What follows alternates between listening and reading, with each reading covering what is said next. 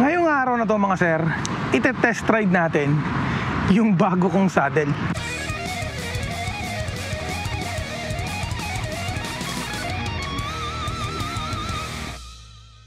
Ito mga sir, yung bago kong saddle na ite-test ride natin. Ngayong araw to mga sir, ang plano is subukan to or i-simulate yung mga roads na dinadaanan ko papasok ng trabaho. So first things first mga sir, ano nga ba yung feel nitong saddle na to?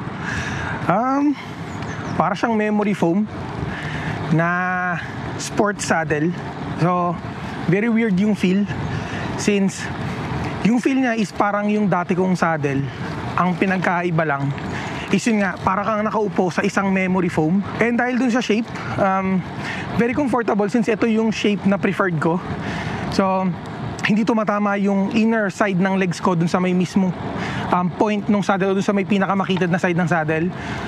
So, just like yung old saddle na gamit ko.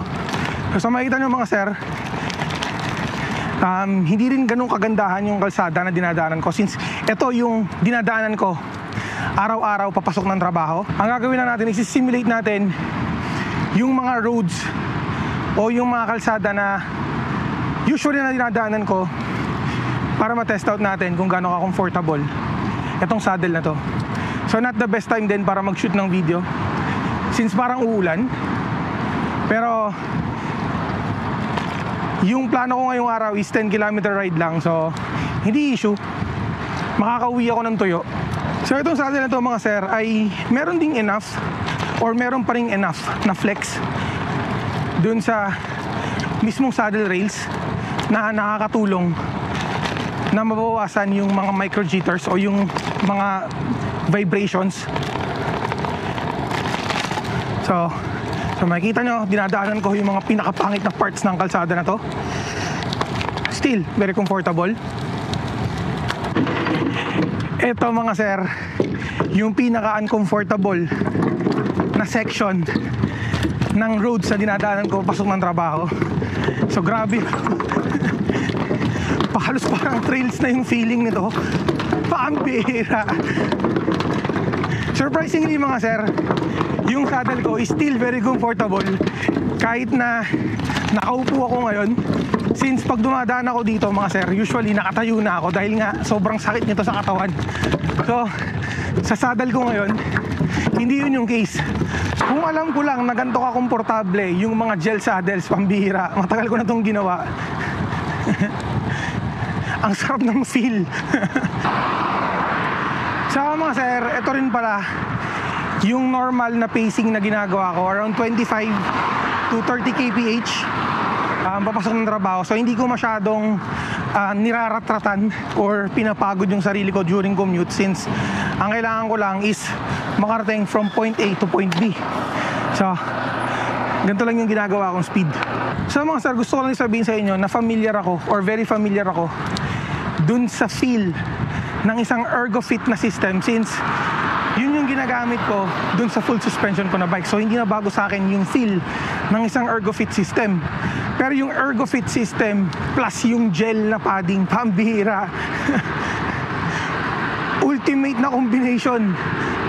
So ngayon mga sir, meron akong konting napansin dun sa setup ko ng saddle. So hindi to problema nung mismong saddle but problema to kung paano ko inilagay or kung paano ko na-install. So sa tingin ko, kailangan ko pang i-point downwards yung tip o yung nose ng saddle. Since meron pa rin akong nararamdaman na konting pressure sa balls ko, so kailangan ko pa tong ibaba. At least konting-konti pa. And sa tingin ko, kailangan ko pang itaas ng konti yung mismong seat post dahil binaba ko to. So nasobrahan ako sa pagbababa. And ngayon, kailangan kong itaas. So ngayon mga sir, iti-test natin to sa drop bar position. So kahit na medyo makapal mga sir, itong saddle na to, hindi siya annoying or hindi siya sagabal sa isang aero na position na kagaya ng ginagawa ko ngayon na nasa drop bar ako. So, kahit na makapal siya or kahit medyo mataba itong saddle na to, very sporty pa din yung shape at feel. So ngayon mga sir, masusubukan natin to sa cobbled roads ng Mongkalyeri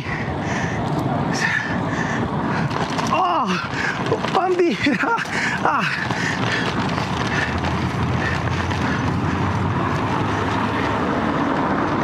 So, mga sir, sa cobbled roads, na kagaya nito, uncomfortable pa din ang upuan na to kahit na naka-gel padding siya. Pero di hamak naman na mas komportable to dun sa dati kong saddle. So pagkatapos ng isang short ride mga sir, masasabi ko ba na sulit or comfortable ang upuan na to? Para dun sa ride na ginawa ko, na sinimulate ko yung roads na dinadaanan ko papasok ng trabaho, ah, super comfortable mga sir ng saddle na to. Kagaya rin ng sinabi ko kanina mga sir, kung alam ko lang na ganito ka comfortable ang isang gel padded na saddle, matagal ko nang ginawa to and matagal ko na itong kinabit dito sa road bike ko. Since ito yung bike na ginagamit ko for commutes o yung bike to work at syempre kapag naglo-long ride kami ng mga kaibigan ko. Kagaya ng sinabi ko kanina mga sir, hindi pa perfectly dialed in itong saddle na to para sa akin since kailangan ko pang ibaba ng konti pa yung point or yung nose ng saddle na to since meron pa rin akong nararamdaman na konting pressure sa balls. Plus, kailangan kong iakyat o itaas pa ng konti yung seat post dahil nasobrahan ako sa pagbababa. Ibig sabihin naman mga sir na within a couple of rides, mas magiging comfortable pa ang saddle na to. So nagustuhan niyo ang video na to, like, share. I'm Bang Salvacion and this is Come Out to Bike Workshop. See you sa susunod na video. Rock and roll!